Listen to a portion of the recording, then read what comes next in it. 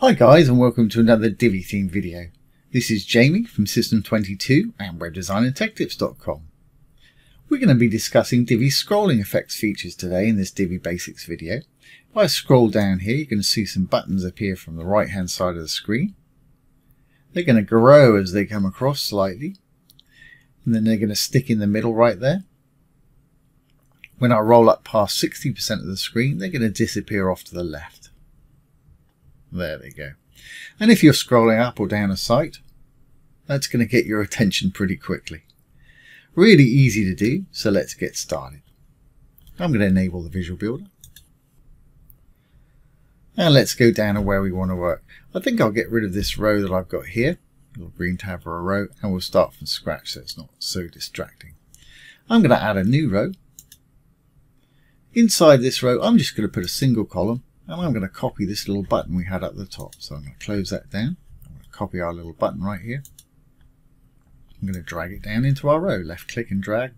Release to drop it where you want it. Okay, so we've got a row here with a little button. So let's have a bit of fun with it. I'm going to go into the row and this will work just as well on a section. Blue tab for a section. And it'll also work on an individual module too.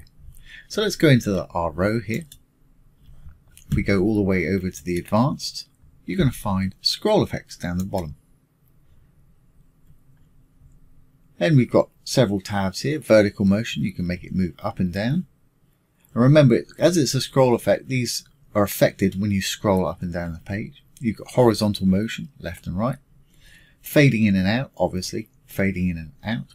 Scaling, which means growing bigger or smaller. Rotating. And blurring.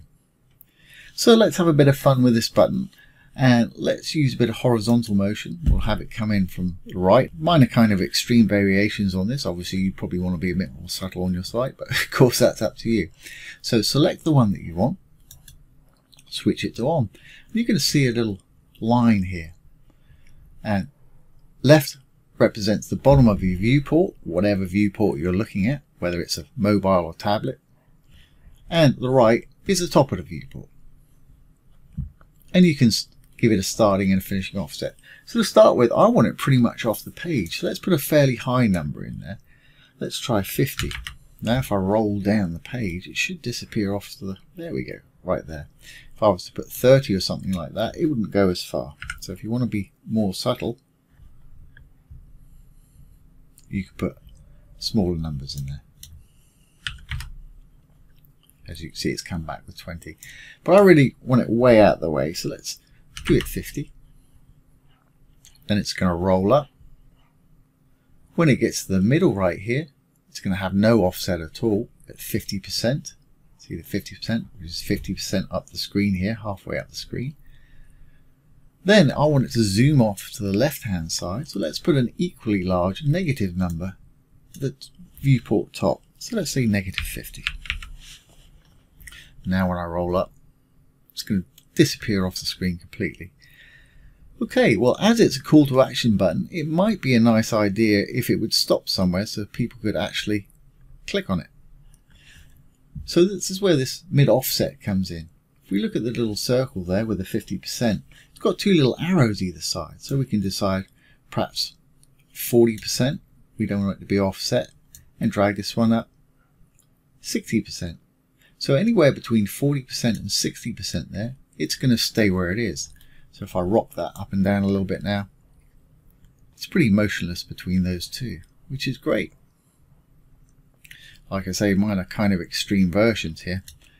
So once you've got one and you like what you're doing, you can add another one. Let's do perhaps scaling up and down. Let's make it bigger when it gets to about between 40 and 60%. So starting scale, let's start it off quite small.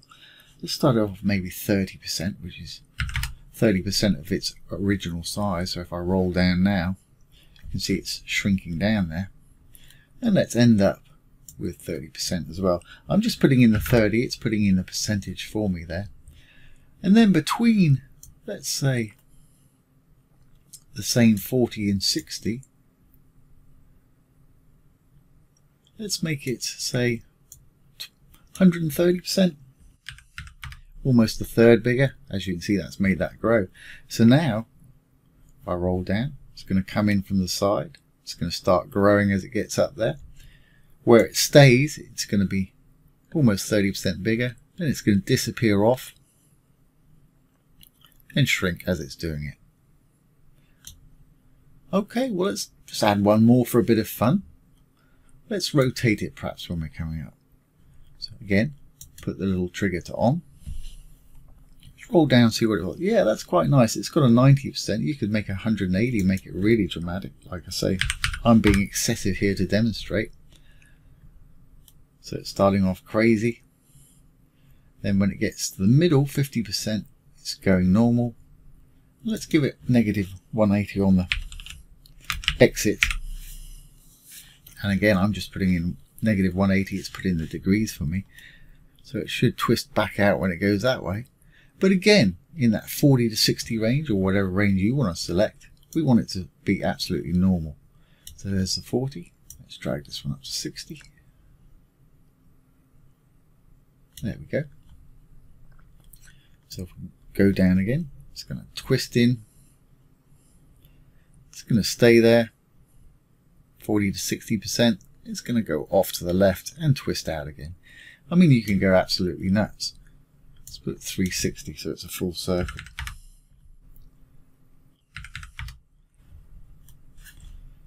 Now when I roll down, see it's twisting off the side of the screen there. And like I say, this is going to get people's attention pretty quickly if that happens. And of course, we can click on it in our nice little area there. Like I say, this will work equally as well with a module. So let's just, let's go into one of these blurbs here. We'll go to the advanced. We'll go down to our scroll effects. And let's just add a little twist to that particular one when it comes in. Enable rotation. At the bottom, again, let's give it silly amount, 360. And at the top, we'll say negative 360.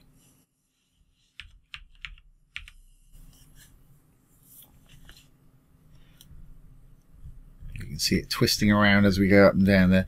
And again, we'll define a, a bit in the middle. Well, let's put it right up the top. Say, from 60 to 90 perhaps, that it's normal. There we go. So if I roll down the page, it's twisting its way in. When it gets to 60% up, it should stay there. And as we roll up the page, right as we get to the end, it'll twist out again. There we go. And again, that's a crazy example just to demonstrate it can work perfectly on a module as well. And if you're subtle with this and do a few different things, you can get some great effects going. So there you go, guys. That's how to use the scroll effects. Let's save this, make sure everything's going to work correctly on the front end. Save the page changes. And exit the Visual Builder. If I roll on down, there's our crazy button zooming in. If I roll on down some more, there's our crazy little blurb module doing its thing. And it's staying there, and it'll zip out just as we get to the end there. So there you go, guys. There's a fantastic scroll effects of the Divi thing. And like I said before, that'll work just as well on mobile and tablet as it does on desktop. So I hope you've enjoyed this today and found it useful. If you have, please give it a thumbs up, ring the bell, comment, share, and subscribe to our YouTube channel. Once again, this has been Jamie with System22 and WebDesignAndTechTips.com. Thanks for watching. Have a great day.